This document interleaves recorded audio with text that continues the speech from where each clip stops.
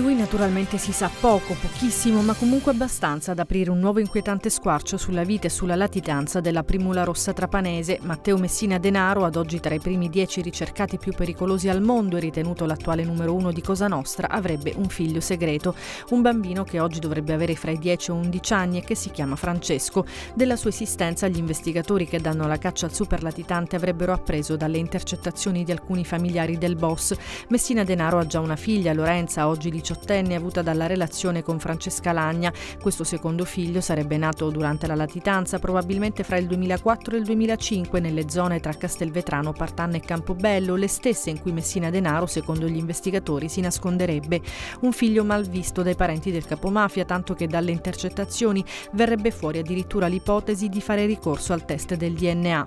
Nulla si sa invece della madre del bambino, insomma un nuovo mistero nella vita del superboss che continua a sfuggire alla cattura cattura, nonostante il mandato internazionale per associazione mafiosa, omicidio, strage, devastazione, detenzione e porto di materiale esplosivo e nonostante i blitz che anche di recente hanno assestato duri colpi alla sua rete di fiancheggiatori, come l'operazione Eden del dicembre 2013.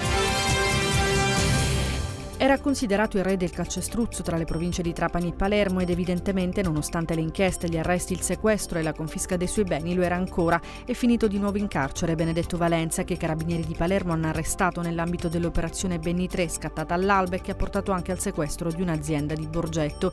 Valenza è figlio di Salvatore e nipote di Erasmo Valenza, esponenti di spicco della famiglia mafiosa di Borgetto, vicinissima da sempre al boss Gaetano Badalamenti, entrambi vittime di Lupara Bianca nell'83. Già negli anni 90 90 era ritenuto punto di riferimento di Cosa Nostra per le forniture di calcestruzzo.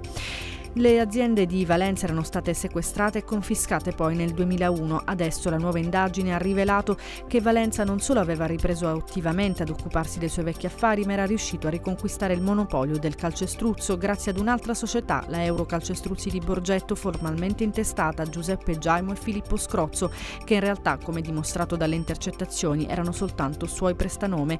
Era invece Valenza stesso a occuparsi dei rapporti con gli imprenditori edili palermitani e trapanesi che si rivolgevano a lui per prezzi e trasporto delle forniture. Riusciva anche a orientare le scelte di altri imprenditori, spingendoli a optare per le sue forniture anziché per quelle di ditte concorrenti. L'euro calcestruzzi sequestrata oggi ha un valore di circa 400.000 euro.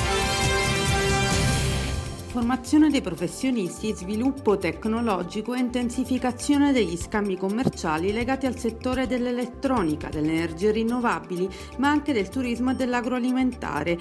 L'obiettivo del protocollo tra Sicilia e Emirati Arabi è la crescita economica e lo sviluppo di un prodotto unico che possa competere con quelli del mondo asiatico. L'iniziativa che rientra nel progetto di internazionalizzazione delle imprese Paesi del Golfo voluto dall'assessorato attività produttive comprende 42 aziende siciliane dei settori meccanica e meccatronica, turismo e agroalimentare delle province di Catania, Ragusa, Caltanissetta, Agrigento, Palermo e Trapani che si confronteranno e realizzeranno una stretta collaborazione con i 35 operatori economici degli Emirati Arabi Uniti e dell'Oman. A suggellare questo matrimonio sarà il fatto che le imprese siciliane selezionate, pur se di nicchia, rappresentano delle eccellenze nei rispettivi settori che le distinguono nelle forniture rispetto competitor.